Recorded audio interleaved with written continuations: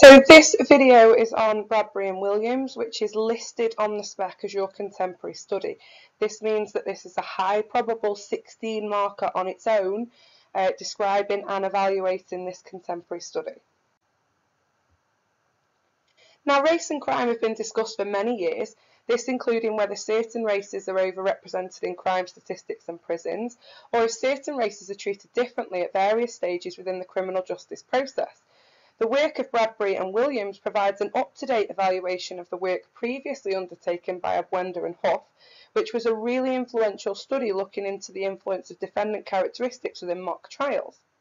So the aim of this study is to examine whether the racial makeup of a jury affects its decision making, and they tested two hypotheses. So hypothesis one was black defendants will be more likely to be convicted by juries composed of a higher number of white jurors whereas hypothesis 2 was that black defendants will be more likely to be convicted by juries composed of a higher number of Hispanic jurors. So data was collected from real trials in four American states and the cases chosen were ones in which there was a hung jury, so where the jury could not agree on whether the defendant was guilty or not. Data included demographic characteristics of the jury, jury selection and the offence type and only trials that included black defendants were examined. Now the dependent variable, so what was measured within this study, is whether or not the trial resulted in a conviction, whereas the independent variable that was manipulated within the study was the racial makeup of the jury, so whether it was mostly black, mostly white or mostly Hispanic. Now they included seven control variables to measure the strength of the prosecution case to make sure that there was a sufficient case for the jury to decide on. And these control variables were the presence of written instructions to the jury, the quantity of evidence, the strength of the case, the case type, so whether it was violence, property or drug offences, the length of the trial, whether the lawyer was public or private, the length of the jury deliberations, now, in order to assess whether there was a significant relationship, the researchers undertook complex statistical analysis, including a logistic regression. Now, don't worry too much about this, but the nature of this statistical test is basically helping them to identify which juror characteristics may have influenced the decision making. Now, a logistic regression is basically a statistical analysis that examines the relationship between the IV and the DV, allowing them to calculate the probability of them being related.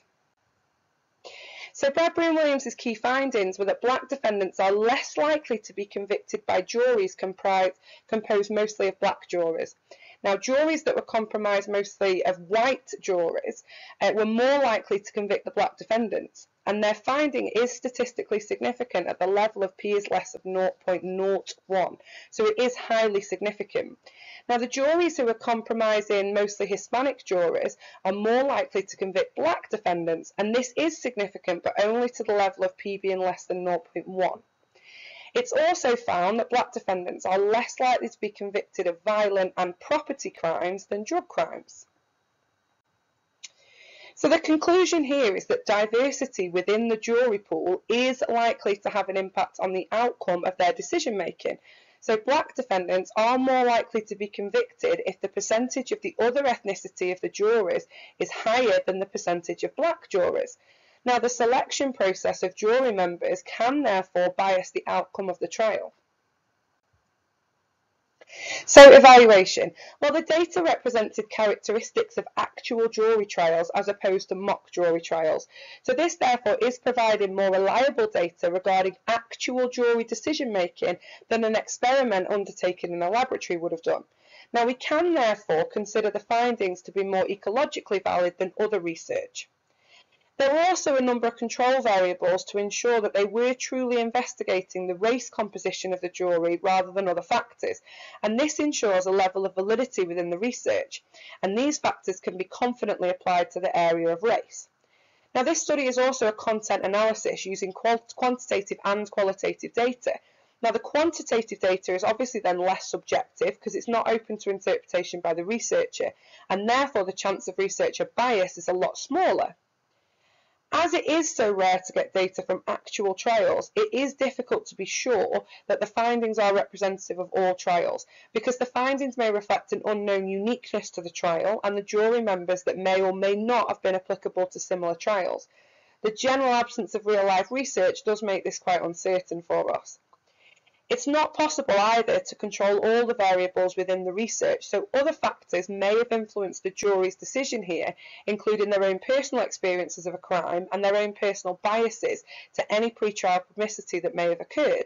And this may have had an unknown impact on the jury members, which, due to involving real life trials, was not possible to control, despite the attempts to control the many, as many variables as they have. Equally, the case only focuses here on black defendants, and the findings therefore may not be applicable to other cases in which the defendant's race is not black. Further research is required into other ethnic groups before it's possible to determine whether the effect found within the current research is applicable to all races.